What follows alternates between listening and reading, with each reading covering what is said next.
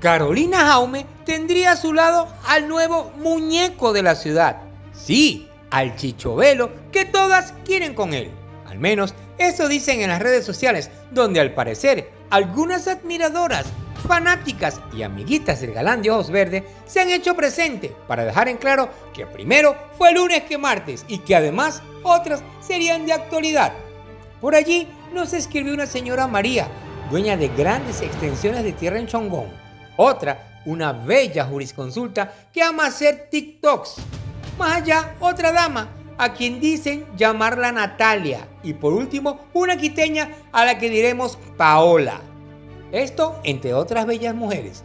Y es que parecería ser que el galán de ojos verdes se le junte el ganado, ahora que la noticia de su boda con animadores jurados de BLN es de conocimiento público. Y tras todo esto, ¿acaso se reactiva la telenovela Mujeres Engañadas? ¡A coger palco!